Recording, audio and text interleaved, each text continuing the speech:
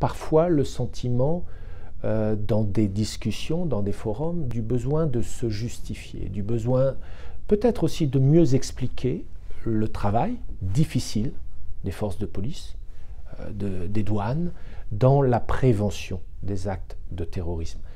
Et euh, cela doit se faire de manière responsable, avec le respect des droits individuels, des obligations internationales. Nous y travaillons. Mais c'est essentiel de se souvenir constitue les, la première ligne de défense des États membres dans la lutte contre le terrorisme et que cette dimension ne doit jamais être sous-estimée, oubliée, et que c'est un travail très difficile. Quand on discute avec des enquêteurs, le soir d'une attaque terroriste, on se rend compte de la pression qu'ils ont à résoudre une enquête.